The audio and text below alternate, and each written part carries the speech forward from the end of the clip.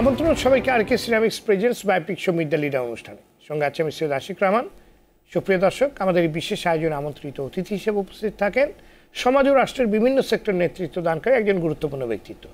আজ আমাদের আমন্ত্রিত অতিথি হিসেবে এসেছেন এমন একজন বরেণ্য রাজনীতিবিদ, সৎ, সজ্জন, মানবদরদী এবং শিক্ষানুরাগী ব্যক্তি হিসেবে যা রয়েছে ব্যাপক সুখ্যাতি।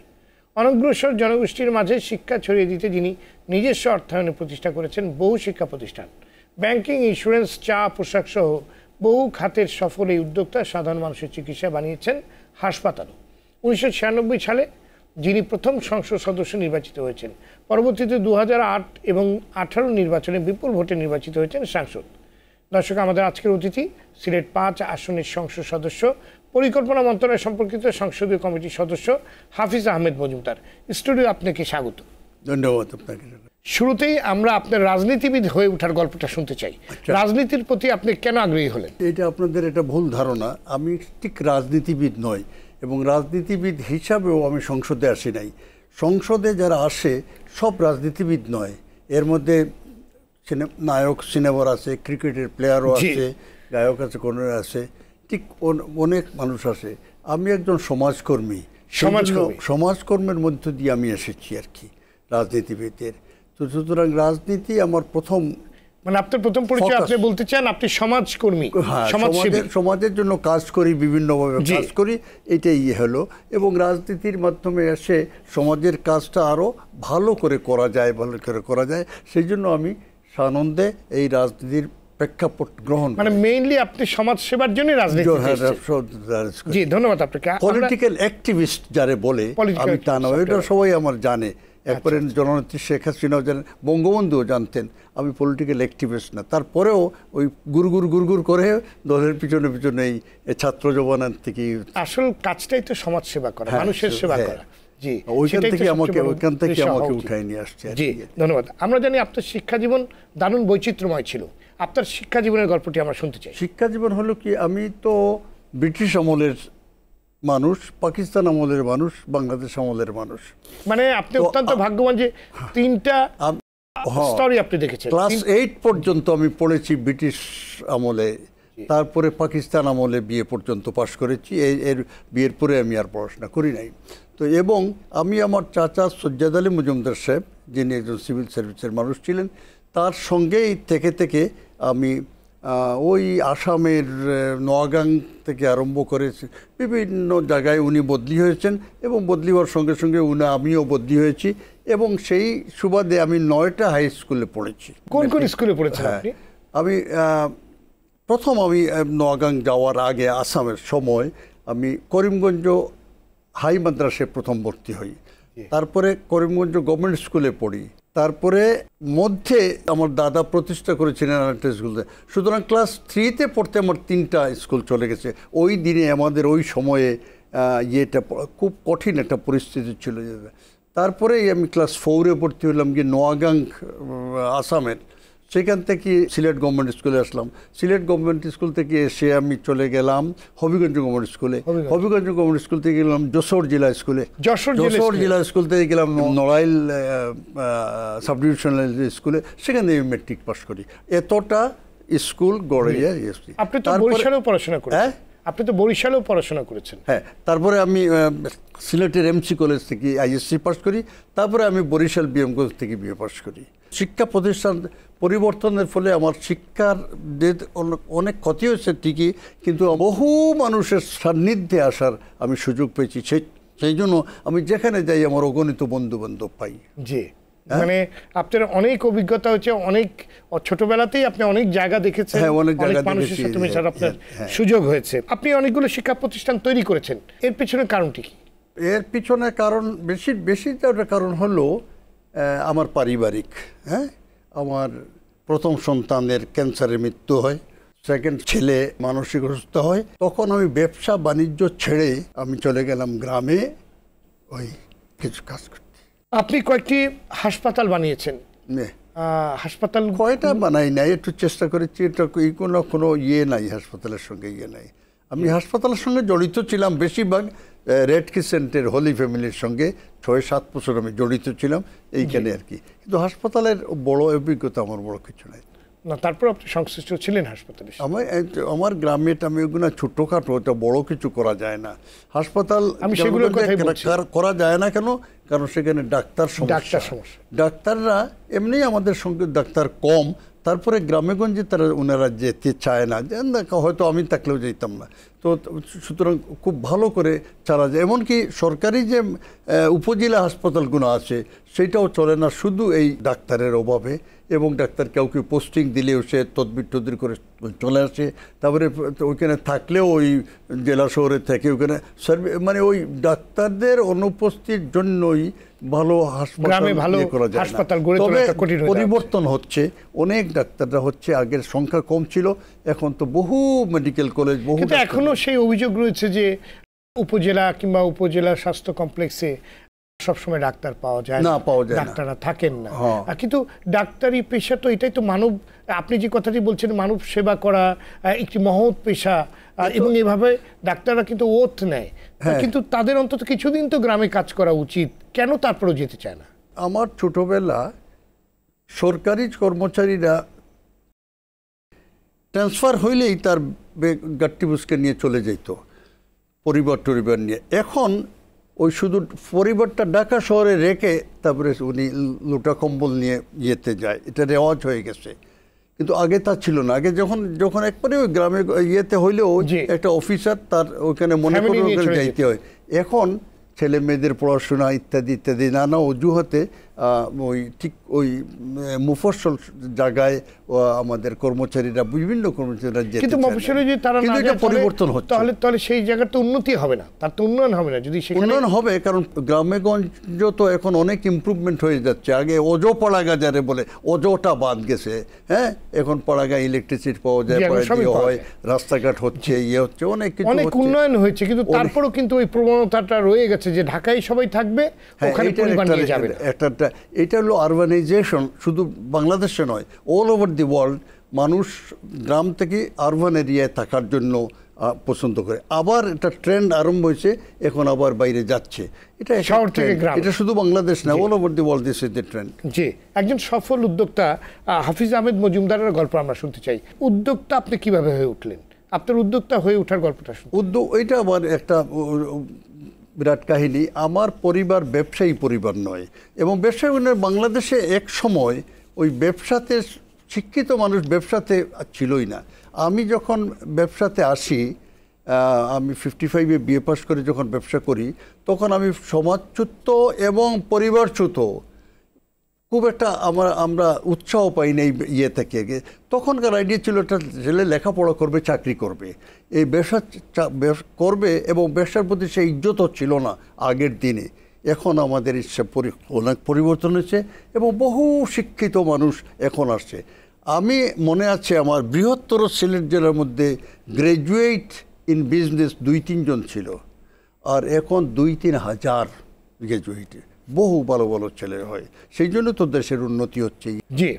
আর দেশের তরুণ উদ্যোক্তাদের জন্য এবং যারা উদ্যোক্তা হতে চান তাদের জন্য আপনার কি পরামর্শ থাকবে? এখনও কালচারটা হয়েছে আর কি একটা চাকরি করা। যে কোনো ছেলেপেলে হইলেই আর কি যারা যাদের ফ্যামিলি ব্যাকগ্রাউন্ড নাই ব্যবসার আর কি ছেলেপেলেরা চাকরিতেই যাইতে চায় বেশিরভাগ বেশিরভাগ যাইতে। একটা চাকরি পেলে মনে একটা সম্পদের জীবন। উদ্যোক্তা বা এন্টারপ্রিনিয়র এটা সব হয় না। একটা পরিবারের মধ্যে হয়তো একজন। চলে একজন হইল একটা গ্রামের মধ্যে একজন দুজন হইল এন এন্টারপ্রিনিয়র এন্টারপ্রিনিয়র সে একটা পাগল। সে হিসাব টিসাব চালে ঝাঁপিয়ে পড়ে। এটা সব জায়গায় সব ইয়ে হবে। সেই এন্টারপ্রিনিয়রশিপটা যার আছে সেই ব্যবসা করতে পারি আর কি। আপনি উদ্যোক্তা হয়েও কীভাবে? বহু কষ্টের বিনিময়ে কারণ আমার পরিবারের তো ব্যবসার নামগন্ধ ছিল না। শুধু ব্যবসা করতে যে কিছু টাকা পয়সা ছিল সেটাও ছিল না। হ্যাঁ? তো আমাকে আমার অত্যন্ত শ্রদ্ধেয় এক খালা খালা আমার একটু দূর সম্পর্কে খালা তার আশ্রয়তে তিনি জন হুমায়ুন রশিদ সাহেবের মা তিনি একটা ব্যবসায়ী ছিলেন তার অনুপ্রেরণায় তার চেষ্টায় তার ইয়েতে আমি ব্যবসাতে আসতে পারছি। আদারওয়াইজ আমি একজন সরকারি কর্মচারী হয়ে চলে যেতাম কোথাও আর কি। আপনি বললেন যে অনেক কষ্ট করতে হয়েছে আপনাকে। এই সফলতার পেছনে হ্যাঁ। আপনাকে অনেক কাজ করতে কিন্তু এখনকার ইয়াং জেনারেশনকে আমরা দেখছি তারা খুব অল্পতেই খুব শর্টকাট অনেক বড় কিছু পেতে চায়। তাদের জন্য আপনাদের কি এটা হয় হয় কিন্তু তারপরেও তো আমাদের দেশে বহু ছেলেপেলেরা ব্যবসায় এসে গেছে এসে গেছে, ভালো ভালো করতেছে ইয়ে করতেছে। আমি গার্মেন্ট ইন্ডাস্ট্রির সঙ্গে জড়িত আমি I one of the founders of this industry seventy নাইনে আমি আরম্ভ করি এখন আমার মেয়েরা করে। তো এখন এই কত কষ্টের একটা ইয়ে ছিল তখনকার দিনের যখন আরম্ভ হয় স্ত্রীর গয়না পর্যন্ত বৃষ্টি হয়েছে এত কষ্টের ছিল। তার আস্তে আস্তে আস্তে আস্তে এটাকে গ্রো করেছে। এখন একটা এ ভালো ইন্ডাস্ট্রি হিসেবে ভালো। হিসেবে এরকম আছে শুধু গার্মেন্ট না এখন বহু বাংলাদেশ তো একটা অর্থনৈতিকভাবে আমি একটা উদাহরণ প্রায় দিয়ে থাকি আমার ইয়াংদের বলে থাকি যে আমরা বহু কষ্ট করে ডেভেলপমেন্টের প্লেনটাকে রানওয়ের মাথায় এনে নিয়ে এসছি। ওইখানে আনতে বড় কষ্ট। কিন্তু রানওয়ের মাথায় তোমরা পাইছো এখন now you fly and fly an anywhere you can go ভালো এখন অনেক কিছু করতে পারবে আর কি। কিন্তু এই জায়গায় পৌঁছতে যে কোনো ব্যবসায়ীর প্রথম এক লাখ টাকা জোগাড় করতে তার বহু কষ্ট কিন্তু যখন এটা এক কিছু হয়ে গেল তারপরে তার আর পিছনে তাকায় হয়- না। আর বাংলাদেশের কনটেক্সটেও আমাদের পিছনে থাকার এখন সময় নাই এখন আমাদের সামনে চলে যাচ্ছে। এই যে বাংলাদেশের যে অভাবনীয় উন্নতি যেটা হয়েছে এবং এইটা যে রেজাল্ট আমাদের ভবিষ্যৎ প্রজন্ম যারা তারা এটা ব্যবহার করবে। ব্যবহার করবে জি। আমরা জানি আপনি একজন চা শিল্পের উদ্যোক্তা। এই খাতটি কতখানি সম্ভাবনার এবং কি ধরনের চ্যালেঞ্জ রয়েছে এই খাতে? না চা আমাদের দেশে যে চা হয় এটা আমাদের নিজে পাকিস্তান আমলে আমরা কিছু কিছু এক্সপোর্টও করতাম। তখন জনসংখ্যা কম ছিল। এখন আস্তে আস্তে জনসংখ্যা অনেক বেড়ে গেছে। আমাদের আর এক্সপোর্ট করার সুযোগ নাই। এখন আমাদের দেশের মানুষের কারণ মানুষের অর্থ শুধু যে জনসংখ্যা বাড়ছে না অর্থনৈতিক অবস্থা মানুষের ভালো হয়েছে। এবং যার ফলে মানুষের উন্নতি হলো তো আমরা চা প্রোডাকশন করি। এখন চায়ের প্রোডাকশন যা আছে এটা আগের চেয়ে আমরা এই কত দশ এই এই বিশ বছরে বহু দূর প্রোডাকশন বাড়িয়ে নিয়ে গেছি। আগে আমরা পঞ্চাশ মিলিয়ন ডলারের ধারে কাছে বাস করতাম। এখন হান্ড্রেড মিলিয়নের ধারে কাছে আমরা এই কারণে জনসংখ্যা বাড়ানোর কারণে এবং সবার মধ্যে চার যে একটা অভ্যাস তৈরি হয়েছে তার জন্য বাংলাদেশে যে পরিমাণ উৎপাদন সেই পুরোটুকুই প্রয়োজন এবং আরও বেশি প্রয়োজন হচ্ছে। বেশি হচ্ছে এবং নর্থ বেঙ্গল নতুন একটা জায়গা হয়েছে চা উৎপাদন প্লেন ল্যান্ডের মধ্যে। এটার একটা বিরাট সম্ভাবনা নিয়ে আসছে চা আর ওই হবে। কিন্তু চায়ের কোয়ালিটি যেটা চাই বাইরের এটা এটা প্রাকৃতিক ইয়ের উপরে নির্ভর করে ইচ্ছা করে আপনি ভালো করতে পারবেন না আমাদের মোটামুটি ব্ল্যাক টির একটা খুব ভালো স্ট্যান্ডার্ডও না খারাপও একটা না এটার মধ্যে আছে। আমাদের এইটা চলে যাচ্ছে। এখানে অভিযোগ আছে যে আপনি চা ইন্ডাস্ট্রির সাথে যারা জড়িত তাদের অবস্থার যেমন কিংবা চা ইন্ডাস্ট্রির যারা উদ্যোক্তা তাদের জীবন মান অনেক বদলালেও চা শ্রমিকের কিংবা চা শিল্পের পেছনে যারা কাজ করে যে শ্রমিকরা তাদের ভাগ্যের তেমন পরিবর্তন হয়নি। তারা অনেক পিছিয়ে রয়েছে। এ ব্যাপারে আপনি কি বলবেন? হ্যাঁ এই চা শ্রমিক যারা আছে এখানে আছে আমাদের এটা তো চার মোটামুটিভাবে ব্রিটিশ টাইমে আমাদের দেশে চা ইয়ে হয়েছিল এবং শ্রমিকরা সব বাইরের বাইরে থেকে নিয়ে আসছে আসছে কিন্তু তখন চা শ্রমিকরা তখন লেখাপড়া মোটেই জানতো না। এই চা শ্রমিকের অবস্থা এখন অনেক পরিবর্তন হয়েছে। কারণ হলো একটু লেখাপড়ার ইয়েটা হয়েছে। অনেক অনেক শিক্ষিত শ্রমিকদের মধ্যে অনেক বড় বড় সরকারি আমলাও হচ্ছেন ডাক্তার হচ্ছেন হচ্ছেন, ইয়ে হচ্ছে অনেক কিছু হচ্ছে এবং তাদের মধ্যে লেখাপড়ার ইয়েটা হয়। আস্তে আস্তে অবস্থায় আপনি একজন যদি লেখাপড়া না জানে একটা মানুষ একটা পরিবার আপনি যত টাকা দেন যা দেন তাকে উন্নত করতে পারবেন না। আর আপনি তাকে কিচ্ছু দিয়েন না শুধু লেখাপড়া করতে দেন এবং আমি যে আমার বাগানের নাম হলো বৃন্দাবন সেখানে আমরা বহু ছেলেপেলেকে শিক্ষিত মেশিন থেকে আমরা বাইরে এনে তাদেরকে এবং আপনাদের তো প্রতিটা চা বাগানে আমরা যতদূর জানি সেখানে স্কুলও রয়েছে এবং হ্যাঁ। সরকারি স্কুল তো এখন প্রতিটা উপজেলায় রয়েছে। স্কুল টিস্কুলে অনেকটা সবাই তো এখন স্কুলে ইয়ে যাচ্ছে বাচ্চারা। হ্যাঁ কিন্তু ওই যে তাদের পারিবারিক জড়তা যেটা আছে এটা কাটিয়ে উঠতেছে বহু দিন লাগতেছে লেগে। এবার আমরা আসলে করোনার অভিঘাত থেকে ব্যবসা বাণিজ্য এবং সামগ্রিকভাবে দেশের অর্থনীতির পুনরুদ্ধারে করণীয় নিয়ে আপনার কাছে আমরা শুনতে চাব। একটি বিরতির পর। দর্শক RK ceramics presents biopic show meet the leader অনুষ্ঠানে নিচ্ছে ছোট্ট একটি বিরতি সাথেই থাকুন।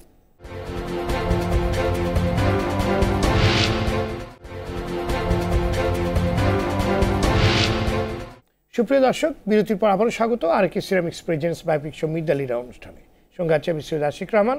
আমাদের আজকের অতিথি সিলেট পাঁচ আসনের সংসদ সদস্য পরিকল্পনা মন্ত্রণালয় সম্পর্কিত সংসদীয় কমিটির সদস্য হাফিজ আহমেদ মজুমদার। আপনাকে আবারও স্বাগত জানাচ্ছি আর টিভি স্টুডিওতে Yeah. বিরতির পূর্বে আপনার কাছে আমার যে প্রশ্নটা ছিল যে করোনা অভিজ্ঞতা থেকে অর্থনীতিকে পুনরুদ্ধারে করণীয় কি? আপনার কাছে আমরা জানতে চাচ্ছিলাম। শুনুন, করোনায় বিশ্বের অর্থনীতিকে একেবারে তছনছ করে দিয়েছে, এটা ঠিক। কিন্তু যতটুকু আমরা বলি যে একবারে সাংঘাতিক, ততটুকু হয় নাই।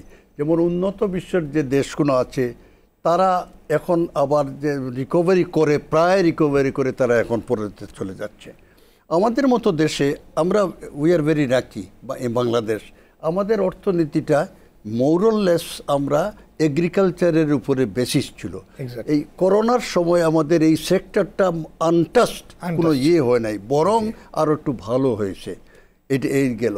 আমাদের আবার ইন্ডাস্ট্রি যেগুলো আছে এগুলো সফিস অত বড় ইন্ডাস্ট্রি নাই সব ছোট ছোট ছোট ছোট ইন্ডাস্ট্রি এর এর মধ্যেই যে হবে এইগুলোও বিপুলভাবে খুব বেশি ক্ষতিগ্রস্ত হয় নাই।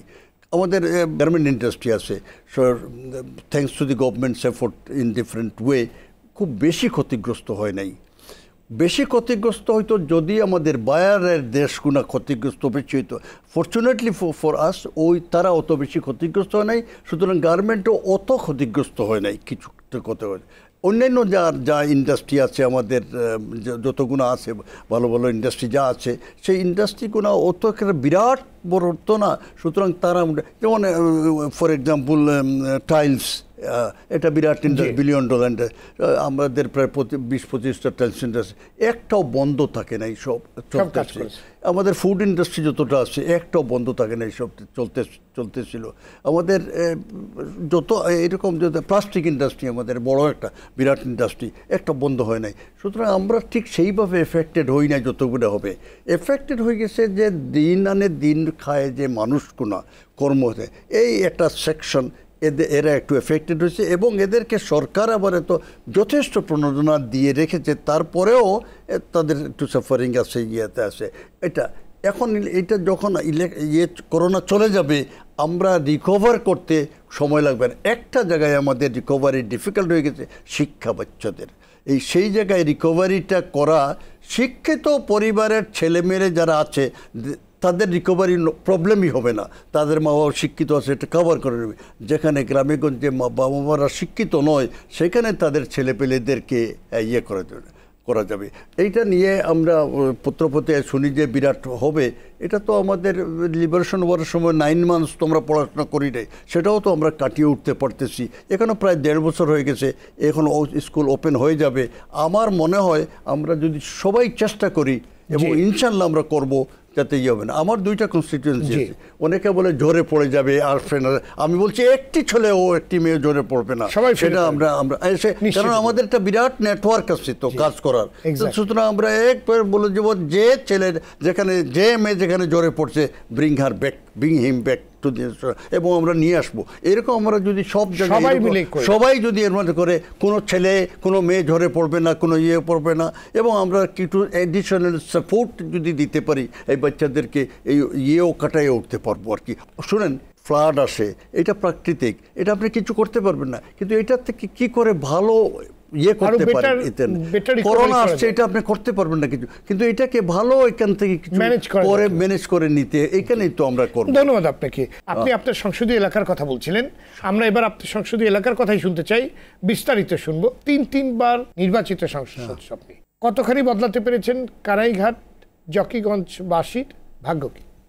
শুনুন, ওই এই এই যে পিরিয়ডটা গেছে, আপনি যেটা তিন, তিনবার, চারবার হলো, অনেক সময় হ্যাঁ প্রায় বিশ পঁচিশ বছরের টাইম এই বিশ পঁচিশ বছর টাইমে আমি থাকি আর না থাকি দেশের একটা বিরাট উন্নতি হয়ে গেছে। এই দেশের যে বিরাট উন্নতি হয়ে গেল এটা যদি বলি যে আমার চেষ্টায় হয়ে গেছে আমার কনস্টিটিউন্সি তা ঠিক হবে না। দিস ইজ একটা ইয়েতে সমবেত সকলের ইচ্ছায় প্রচেষ্টায় জোয়ারে। হ্যাঁ, আল্লাহর রহসের মেহরবানি সব কিছু মিলাইয়া আমরা অনেক উন্নত হয়ে গেছি এটা। আগে আমার আমি যখন প্রথম সংসদ হই আমার বাড়ি থেকে সিলেট শহরে আস আসতে পারতাম না। বহু সময় লাগতো। একদিন হইলে প্রোগ্রাম করতাম, আসব, রাস্তাঘাট ছিল না, এই ছিল না, সেই ছিল না। এখন সিলেট শহর থেকে সকালে উঠে গিয়ে বাড়িতে ব্রেকফাস্ট করতে পারি। এবং শুধু তাই নয়, বাংলাদেশের যে কোনো শহরে থেকে গিয়ে গ্রামেগঞ্জে এত রাস্তাঘাট, এত প্রচুর হয়ে গেছে ইয়ে হয়েছে। এই রাস্তাঘাট ইয়ে হয়েছে যে, এটা করা সম্ভব কেন? শুনেন নেপোলিয়ানের একটা কথা আমার মনে হলো impossible is a word found only in the dictionary of fools ঠিক আছে কিন্তু সেই নেপোলিয়ান একটা আরও দামি কথা বলেছে ability is of no account without opportunity exactly তো এই আমি যত ক্যাপাবল মানুষ থাকি না কেন অপরচুনিটি যদি আমার না থাকে আমি কিছু করতে পারব না। যত অ্যাবিলিটি থাকবে opportunity created by the people of this country বিরাট এখন আগে ইয়েতে কয়েক হাজার কোটি টাকার বাজেট ছিল, কিছু করতে পারতো না। এখন লক্ষ লক্ষ হাজার কোটির বাজার সরকারের কাছে প্রচুর টাকা আছে। সরকার তো আমরা বাড়ি থেকে নিয়ে আসি নাই, জনগণের টাকা। এই জনগণের প্রচুর টাকা তুলে এখন আমরা কাজকর্ম করতে পারতেছি।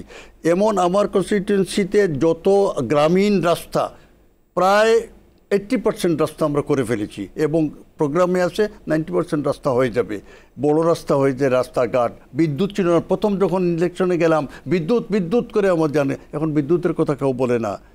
তখন আমি তাদেরকে বললাম যে এখন চিল্লাচ্ছেন তখন বিদ্যুতের অফিসার আপনার ঘরে যাবে বিদ্যুৎটা নেন দয়া করে। কারণ he use to sell is বিদ্যুৎ. সেই পরিস্থিতি এখন এসে গেছে। ঠিক এরকম সব কিছুতেই শিক্ষার ব্যাপারে আমি বললাম না আমি তিনটা ক্লাস পড়েছি এক ক্লাস থ্রিতে এখন ক- আমার আমার জকিগঞ্জে একটা হাই স্কুল ছিল না। এখন হাই স্কুল হচ্ছে বাইশটা। অনেকগুলো হাই স্কুল আছে। মাদ্রাসা, টাদ্রাসা, কত শিক্ষার দিকে উন্নতি আজকে যে দেশের যে উন্নতি যেটা হয়েছে, এটা তার মূলে একমাত্র একমাত্র কারণ হলো আমরা শিক্ষিত হয়ে উঠতেছি। আমি আগে বলেছিলাম, একটি গরিব মানুষকে, অশিক্ষিত মানুষকে যত টাকা দেন কোনো, তার ভাগ্য পরিবর্তন করতে পারবেন না। তার কিছু দিয়েন না, শিক্ষা দেন, ভাগ্য পরিবর্তন। আমাদের জাতি শিক্ষিত হয়ে গেছে এখন।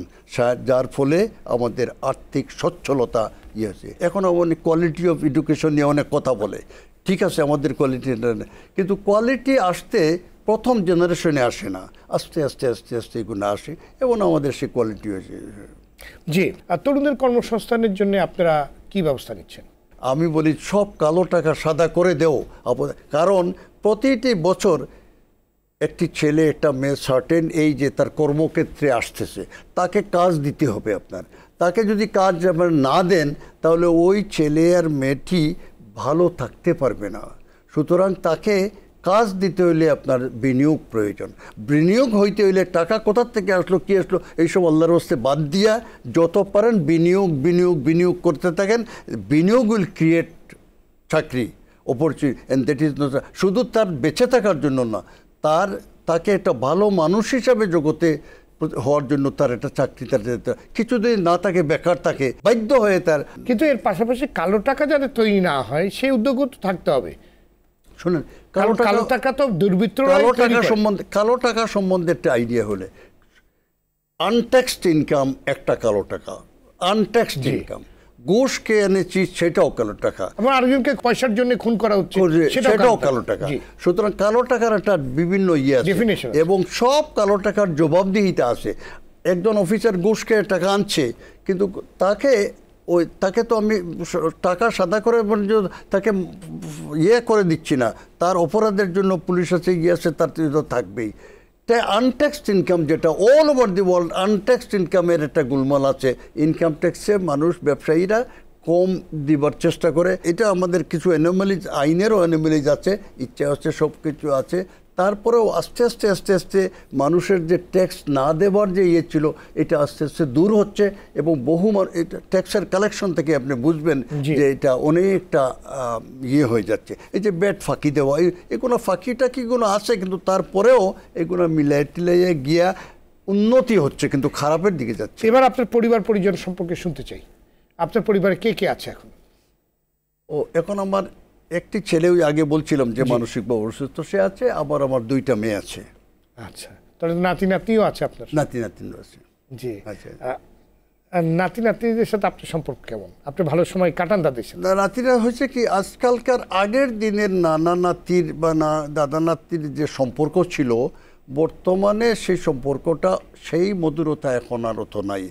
কারণ ইয়েটা চেঞ্জ হয়ে গেছে সব কিছু তারপরেও তো একটা ইয়ে এটা ইয়ে আছে। আগের যে দিনে যেরকম ভাবে একবার ইয়েতে ছিল এখন এরা করে কি এখনকার জেনারেশনে তারা আমার চেয়ে বেশি প্রিয় হলো তাদের এই মোবাইল। হ্যাঁ? ওই তারা ওই যে যাচ্ছে ওই মোবাইলের মধ্যে দিয়ে আছে এটা একটা বিগ মিনেস হয়ে হয়ে গেছে।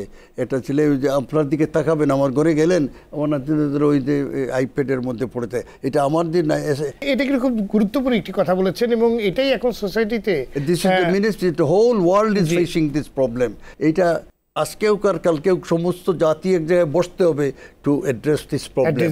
কারণ সমস্ত মানব জাতিকে সে অন্যদিকে নিয়ে অন্যদিকে ডাইভার্ট করে ডাইভার্ট করে। ধন্যবাদ আমাদের আলোচনা একেবারে শেষ পর্যায়ে। আপনার কাছে আমার শেষ প্রশ্ন বাংলাদেশকে নিয়ে আপনার বাংলাদেশ নিয়ে তো আমার যে বিরাট স্বপ্ন বাংলাদেশকে আপনি কেমন দেখতে চান? বাংলা একটা অপূর্ব দেশ একটা অপূর্ব দেশ যেটা আজকে যদি আমরা যে জায়গায় এসে পৌঁছেছি রানওয়ের মাথায় এইটা পৌঁছতে আমাদের চল্লিশ বছর লাগছে বা যথেষ্ট বছর লাগছে। কিন্তু এইখান থেকে যে আমরা ডেভেলপমেন্ট হচ্ছে চল্লিশ বছর জায়গায় পাঁচ সাত বছরে সে ডেভেলপমেন্ট হয়ে যাবে। কারণ অপটিমাম লেভেল অফ ডেভেলপমেন্ট আপনি।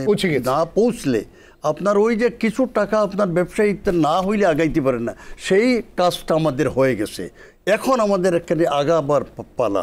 এবং করোনা যদি না হইতো, এই নেক্সট টেন ইয়ার্সে দেখতেন, যেমন আমাদের বাজেট এখন আপনি তো জানেন হ্যাঁ পাঁচ ছয় লক্ষ ইয়েতে বাজেট দশ লক্ষ, আমরা দুই তিন বছরের মধ্যে আমাদের অ্যানুয়াল বাজেট আমরা পাস করব অন্তত দশ লক্ষ হাজার কোটি টাকা পার হয়ে যাবে।